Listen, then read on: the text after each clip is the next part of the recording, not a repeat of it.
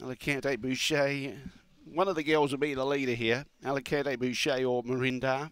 Boxes five or eight, but the boys will be very powerful at the finish. Green light goes on. There's no more bets. Thank you. We're set to go. Away. Alicante Boucher. She'll get across. Zadactyl Manelli's only three lengths away. And Corborn Suede is chasing into second place here, looking very good now. Marinda goes to third. Behind those, starting to stake up around the outside is Honcho Manelli. Sir Pape behind those. And after good beginning, Zadactyl Manelli at the tail end of the field. Here comes Corborn Suede. Goes up to Alicante Boucher. Honcho Manelli's running on behind those, but going to the lead, Corborn Suede. And Corborn Suede takes out the first heat. Second, Honcho Manelli. Alicante Boucher held on for third in front of Marinda. Then in turn, Sir Papo and Zadactyl Manelli at the tail end of the field. The time was around 29.48. 29.48 the time. PB for Corborn Suede.